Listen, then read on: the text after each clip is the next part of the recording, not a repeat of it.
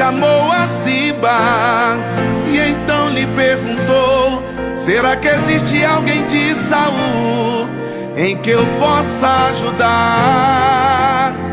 Lembrei-me da aliança que a Jonatas prometi de ser fiel à sua casa enquanto eu existir. E Ziba lhe respondeu: Existe um, ó meu Senhor, habita em Lodeba, terra de tristeza e dor, onde opera a maldade, a miséria é realidade, terra sem sonhos, lugar de pavor.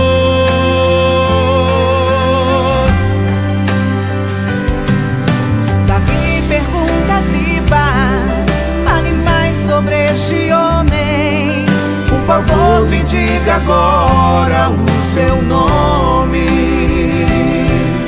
Se chama Mefibosete, mas porém não pode andar. É aleijado de seus pés, só consegue se arrastar. Manda chamar esse homem pra comigo se assentar. Diga a Mefibosete que o rei Davi manda lhe chamar.